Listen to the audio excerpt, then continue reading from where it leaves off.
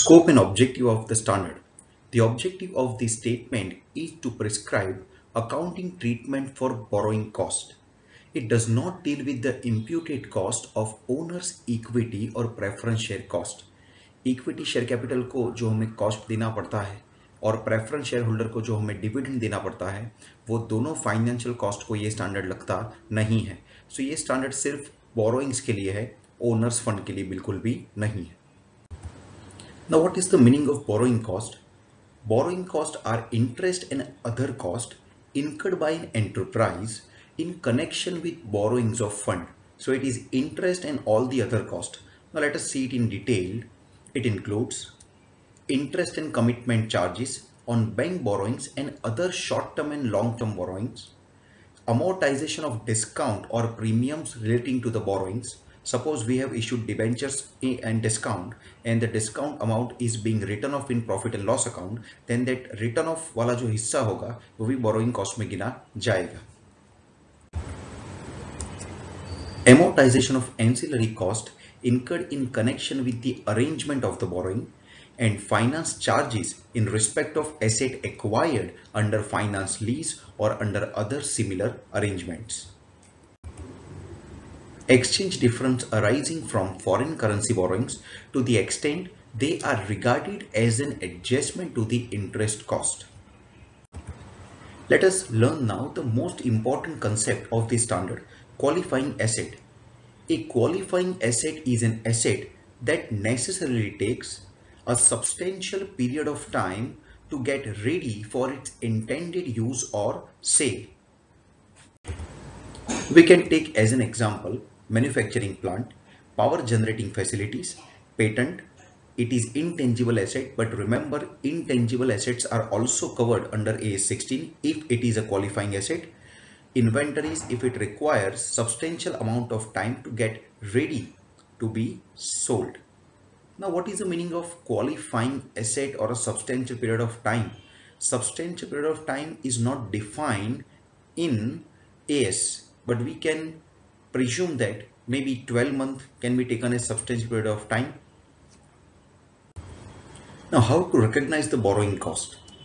borrowing costs that are directly attributable to the acquisition, construction or production of a qualifying asset should be capitalized as a part of the cost of that asset. And other borrowing cost should be recognized as an expense in the period in which they are incurred. Now what will be the amount of recognition as borrowing cost? If the fund is specifically borrowed for qualifying asset capitalize the following.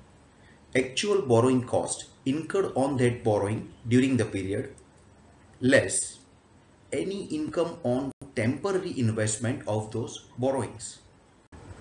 Let us take a practical case regarding capitalization of borrowing cost. On 20th 4 2010, JLC Limited obtained a loan from a bank for rupees 50 lakhs to be utilized as under construction of a shed 20 lakhs, purchase of machinery 15 lakhs, working capital 10 lakhs, and advance for purchase of truck is 5 lakhs. So here we can see this total amounts to 50 lakhs only. In March 2011, construction of shed was completed and the machinery is installed. Delivery of truck was not received. Total interest charged by the bank for the year ending 31st March 2011 was rupees 9 lakhs show the treatment of interest under A16.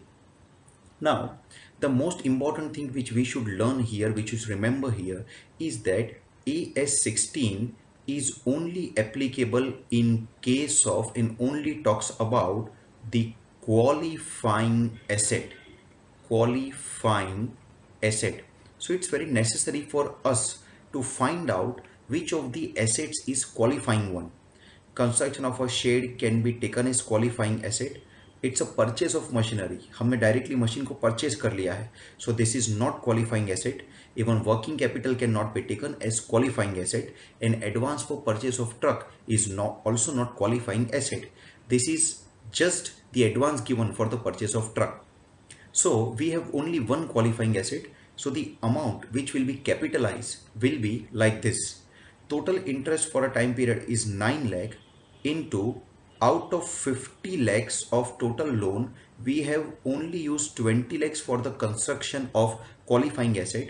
So 3.6 lakhs 3.6 lakhs will be the interest which will be capitalized along with the cost of construction of sheds and the balance interest the balance interest of 9 minus 3.6 of 5.4 lakhs 5.4 lakhs will be directly charged to profit and loss account during the year so remember only in case of qualifying asset a16 says that the borrowing cost should be capitalized.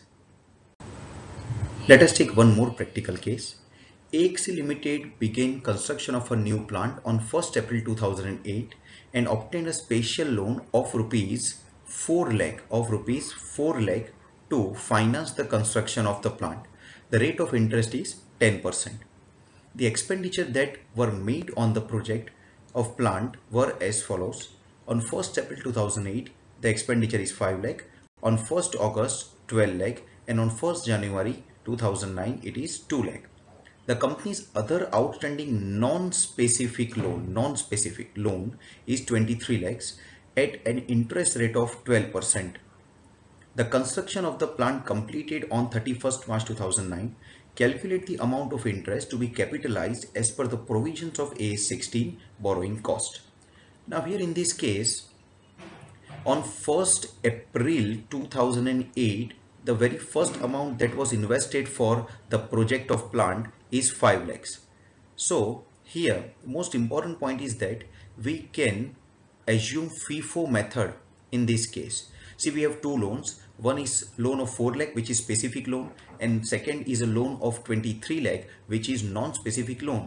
But हम ऐसा presume कर लेंगे कि ये पाँच लाख रुपए में ही ये चार लाख रुपया पहले इन्वेस्ट हो चुका है बिकॉज़ लोन भी अपने one four two thousand eight को ही ली थी सो so इस पाँच लाख के दो टुकड़े हो जाएँगे एक टुकड़ा हो जाएगा चार लाख का जो कि स्पेसिफिक लोन का है और एक टुकड़ा हो जाएगा एक लाख का जो कि हमें मानना होगा कि नॉन स्पेसिफिक लोन में से है। ना इस चार लाख के ऊपर हमें इंटरेस्ट लगेगा दस टका पूरे साल का from first for 2008 to 31st March 2009 so the interest is going to be 40,000 here.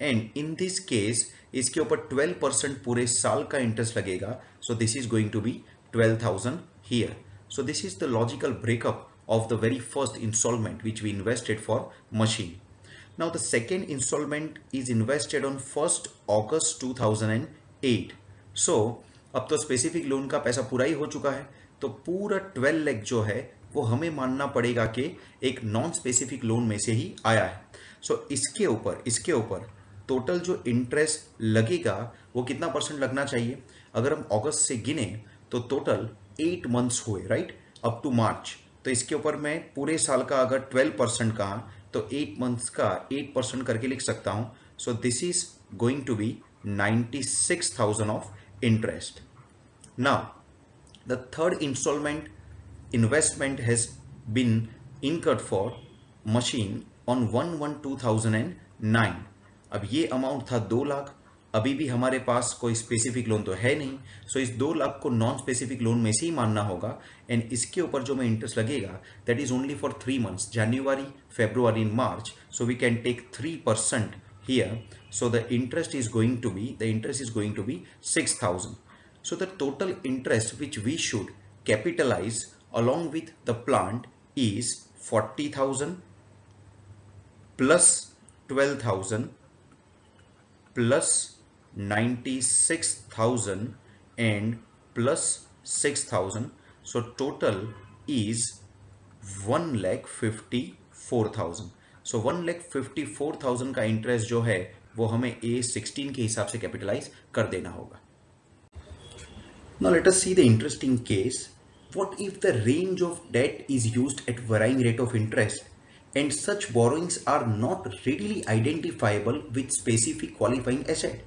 हमने तीन चार क्वालिफाइंग एसेट खरीदी या उसका कंस्ट्रक्शन शुरू किया और हमने तीन से चार जगह से अलग अलग रेट पे लोन ली थी और हमें ये नहीं पता कि कौन सी लोन में से कितना पैसा कौन से क्वालिफाइंग एसेट की ओर गया है। सो so, ऐसे में हम कैसे डिसाइड करें कि कितना बोरोइंग कॉस्ट कौन सी एसेट में कैपिटलाइज करना चाहिए? So this is a very interesting case here let us take a practical example for that. Suppose we have 15% debenture of rupees 2 lakh.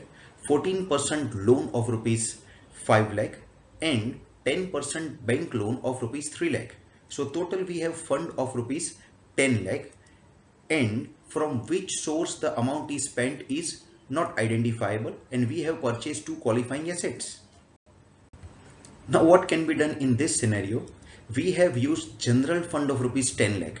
So we have to find out one capitalization rate now capitalization rate is nothing but weighted average cost of all borrowings so in our given situation where we have 15% of debenture of rupees 2 lakh 14% of loan of rupees 5 lakh and 10% of bank loan of rupees 3 lakh we can compute weighted average cost of borrowing like this weighted average cost is equal to total interest divided by total debt.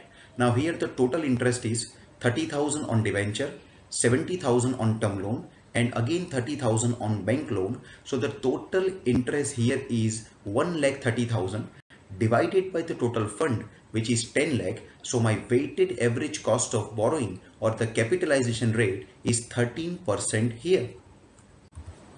Now we found out weighted average cost of capital here, but to which amount the weighted average rate is multiplied.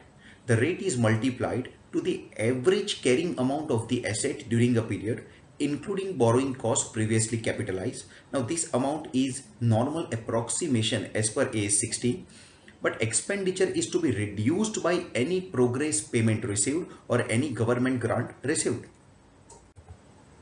Now very important point here is that the amount of borrowing cost capitalized during a period should not exceed the amount of borrowing cost incurred during that period. Suppose we have paid the interest of rupees 50,000 and we want to capitalize 60,000 then this is not possible. We can capitalize only up to the extent of 50,000 which is the borrowing cost incurred during the period. चलिए capitalisation rate कैसे लाना है वो तो हम सीख गए लेकिन कब से हम कैपिटलाइजेशन को कमेंस करें कब से शुरू करें expenditure for the acquisition construction और production of a qualifying asset is being incurred borrowing costs are also being incurred, and activities that are necessary to prepare an asset for its intended use or sale are in progress. जब ये time period चल रहा है, जब production भी हो रहा है बोरोइंग कॉस्ट भी इनकर हो रहा है एंड सभी एक्टिविटीज़ प्रोग्रेस में है, उस टाइम से हमें कैपिटलाइजेशन को कमेंस करना चाहिए। Now when can the capitalisation be suspended capitalisation of borrowing cost should be suspended during extended period in which active development is interrupted मान लो हम एक एसेट का कंस्ट्रक्शन कर रहे हैं जो कि क्वालिफाइंग एसेट है, और बीच में हो सकता है कि एक साल तक because of strike because of lack of labour construction अगर अटक जाता है तो उस एक साल तक हमें बोरोइंग कॉस्ट को कैपिटलाइज करना बंद कर देना है और उसी बोरोइंग कॉस्ट को उठा के प्रॉफिट एंड लॉस में डेबिट कर देना है। If the suspension is a result of a temporary delay in the activity because of the requirement then the capitalisation should not be suspended constructions चल ही रहे थे, लेकिन हमने वर्कर्स को 10 दिन का वेकेशन दिया बिकॉज़ ऑफ़ सम फेस्टिवल तो उस फेस्टिवल के 10 दिन तक हमें कैपिटलाइजेशन को सस्पेंड करने की ज़रूरत नहीं है because it may be considered as the necessary for the workers and their productivity